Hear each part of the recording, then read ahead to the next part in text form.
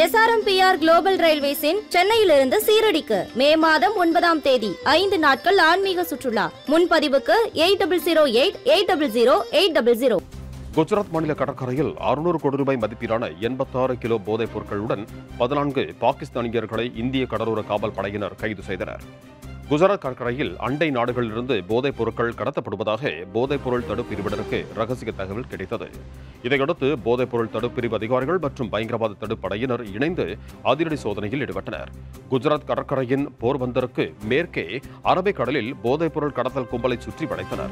பாகிஸ்தான் நாட்டுக்கு சொந்தமான அந்த படகிலிருந்து அறுநூறு கோடி ரூபாய் மதிப்புள்ள சுமார் எண்பத்தாறு கிலோ எடை கொண்ட போதைப் பொருள் பறிமுதல் செய்யப்பட்டது.